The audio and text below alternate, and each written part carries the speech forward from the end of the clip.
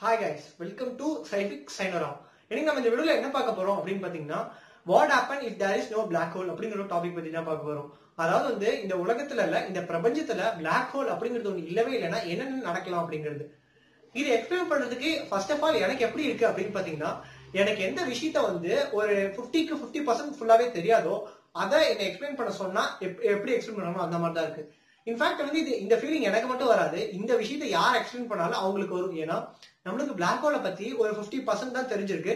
இன்னும் நிறைய தெரியணும். பட் ஆனா வந்து இந்த 50% பர்சன்ட் வச்சுட்டு இந்த பிளாக் ஹோல் இல்லைன்னா என்ன நடக்கும் அப்படிங்கறத நான் ஜட்ஜ் பண்ணிருக்கேன் வாங்க வீடியோக்குள்ள போகலாம். ஃபர்ஸ்ட் ஆஃப் ஆல் வந்து இந்த பிளாக் ஹோல் அப்படிங்கிறது வந்து ஒரு கரு கருந்துளை அப்படின்னு சொல்லுவாங்க. இன்னும் நிறைய லாங்குவேஜ்ல நிறைய வேர்டை வந்து மென்ஷன் பண்ணுவாங்க. பட் ஆனா இது இல்லைன்னா என்ன நடக்கும் அப்படிங்கறத நீங்களே ஒரு இமேஜினேஷனுக்குள்ள போய் பாருங்க. ஃபார் எக்ஸாம்பிள் இப்ப சன் வந்து இந்த சோலார் சிஸ்டம்ல இல்லைன்னா ஃபர்ஸ்ட் என்ன நடக்கும் அப்படின்னா பூமிக்கு வந்து சன்லைட் வராது மனுஷங்களால வாழ முடியாது. இதெல்லாம் நீங்க விட்டுருங்க. இந்த சோலார் சிஸ்டம்ல ஓவராலா என்ன நடக்கும்னா எல்லா பிளானட்டுமே வந்து ஒரு ஸ்ட்ரைட்டான ஆர்பிட்ல ஒன்னு நோக்கி வரும்.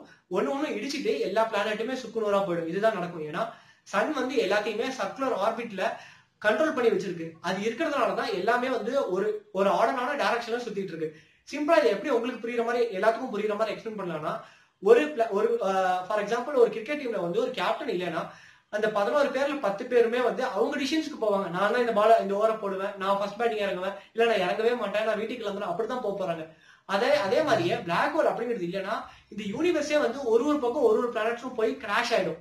இது எல்லாத்தையுமே கண்ட்ரோல்ல வச்சிருக்கிறதுக்கு இந்த பிளாக் ஹோலோட கிராவிடேஷன் ஃபோர்ஸ் ரொம்ப முக்கியம் அப்படின்னு நான் நினைக்கிறேன். நீங்களே நினைச்சு பாருங்களேன்.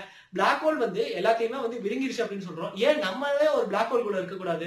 ஏன்னா இப்போ ஒரு பத்து பிளானட்ஸ் உள்ள போயிடுது பிளாக் ஹோல்குள்ள அதுல ஒரு பிளானட் பெருசா இருக்கு. அது வந்து மீதி இருக்கிற ஒன்பது பிளானட்ஸையும் தன்னை சுத்தி ரிவால்வ் பண்ண வைக்குது. இது கூட ஒரு பாசிபிலிட்டி தானே? இதனால வந்து பிளாக் ஹோல் அப்படிங்கிறது ஒண்ணுமே இல்லைன்னா இ- இப்பயும் நீங்க கேட்கலாம். இப்பயும் அந்த பத்து பிளானட்ல ஒரு பிளானட் பெருசா தான் இருக்கும் போது அதை சுத்தி மீதி ஒன்பது சுத்தும் அப்படின்னு. பட் ஆனா வந்து இது வந்து இந்த ஒரு இடத்துக்கு ஓகே இதுக்கு பக்கத்துல இன்னொரு பிளானட் ரொம்ப பெருசா இருந்துச்சுன்னா அப்ப இந்த பத்துமே அதை நோக்கி போயிடுமே அப்ப இடிச்சிடுமே அப்படின்னு எல்லாத்துக்கும் ஒரு திங்கிங் வரும். ஸோ பிளாக் ஹோல் இல்லைன்னா ஃபர்ஸ்ட் ஃபர்ஸ்ட் ஆஃப் ஆல் வந்து கிராவிடேஷன் கொலாப்ஸ் நடக்கும். செகண்ட் திங் என்ன நடக்கும் அப்படின்னு பாத்தீங்கன்னா பிளாக் ஹோல் இருக்கிறதுனாலதான் இந்த பிரபஞ்சத்துல இருக்கிற பாதி ஸ்டார்ஸோட எண்ணிக்கை குறைஞ்சிருக்கு அப்படின்னு நம்மளே திங்கிங் பண்ணலாம் இது சயின்டிபிக்கா ப்ரூவ் பண்ணிருக்காங்க ஏன்னா கொஞ்சம் ஸ்டார்ஸ் வந்து பிளாக் ஹோல்குள்ள இருக்கு.